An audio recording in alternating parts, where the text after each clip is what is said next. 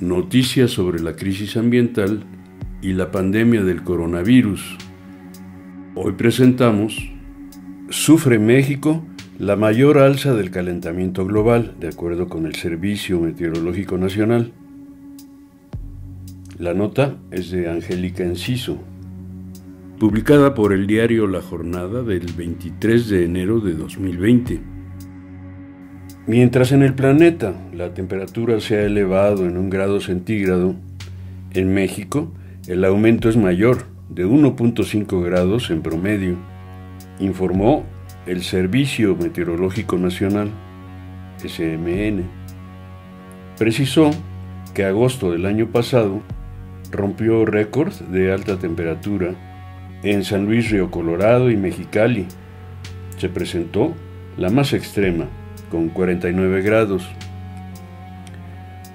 Al presentar un balance de 2019, José Zavala, coordinador del Servicio Meteorológico Nacional, recordó que la Organización Meteorológica Mundial presentó el estado del clima en el planeta desde 1850 y el quinquenio más caluroso fue el de la década reciente.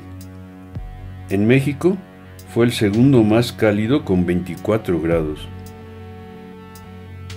Agregó que en el país durante 2019 todos los meses estuvieron por arriba del pronóstico y desde 2005 las temperaturas promedio han sido por arriba de la media. En relación con la lluvia, sostuvo que fue un lapso con baja precipitación y San Luis Potosí Veracruz e Hidalgo registraron los menores índices pluviales.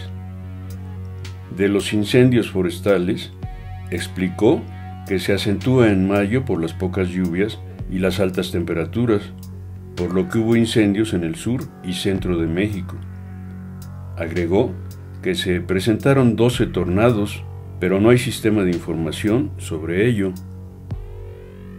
En este invierno, sostuvo en conferencia de prensa que las temperaturas han estado por arriba de la climatología.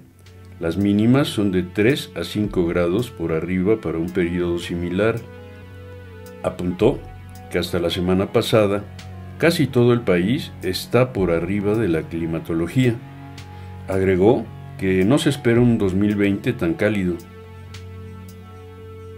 Amparo Martínez, directora del Instituto Nacional de Ecología y Cambio Climático, aludió que el aumento de temperatura se observa en todos lados. En algunos sitios el promedio es más alto y otros más bajo, pero de acuerdo con la climatología de referencia, hay una temperatura diferente en el país.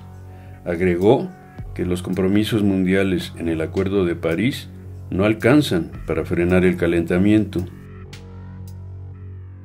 Producción, Grupo de Estudios Ambientales, Selección, Lectura de Textos y Realización, Marco Díaz León.